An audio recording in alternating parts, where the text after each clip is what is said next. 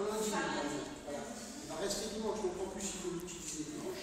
Hein, pour la présentation, c'est un artiste qui est là, on peut parler du